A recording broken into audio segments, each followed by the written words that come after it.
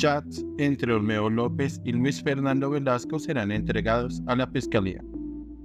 La defensa de López se encuentra en el proceso de extracción de las carpetas de WhatsApp y entregará los chats a la Fiscalía si ésta escucha al exdirector. Olmeo López sí entregará chats a la Fiscalía que tuvo directamente con el ministro del Interior, Luis Fernando Velasco según dijeron fuentes relacionadas directamente con la investigación. El exdirector de la Unidad Nacional para la Gestión de Riesgo, UNGRD, entregó nuevas declaraciones sobre Velasco en una extensa entrevista con la revista Semana. Sobre este dijo que Velasco tiene cosas que contarle al país. Hay que aceptar por qué. Para corregir esos errores hay que reconocer que nos equivocamos debemos de recogernos ministros, directores del departamento y congresistas. E, en lo que tengo por las reuniones a las que asistí, el doctor Luis Fernando Velasco tendrá mucho que explicarle al país. Es precisamente en esta agenda que el país conozca la verdad.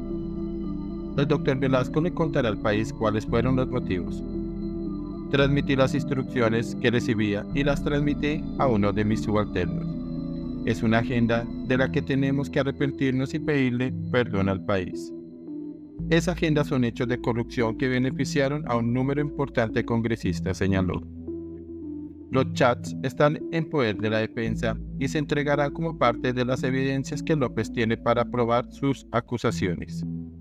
Hasta ahora, el ex subdirector Snyder Pinilla ha entregado chats que vinculan directamente al presidente de la Cámara de Representantes, Andrés Calle, y a la ex consejera para las regiones, Sandra Ortiz.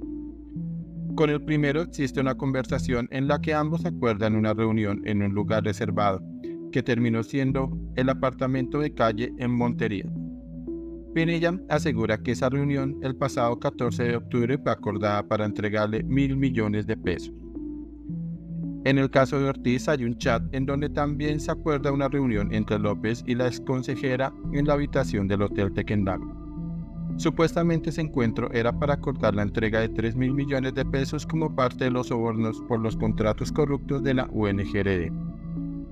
López también dijo en la entrevista que el escándalo va más allá de los carotanques y aseveró que entregará toda la información de lo que parece una agenda estructural de corrupción en el gobierno y en la relación con los congresistas. Velasco se defendió diciendo que enfrentará a López jurídicamente y lo llamó el ladrón que se robó la UNGRD, a pesar de que éste llegó al cargo de la unidad nombrado directamente por el presidente y tras hacer campaña en Antioquia y aportes al pacto histórico en 2022.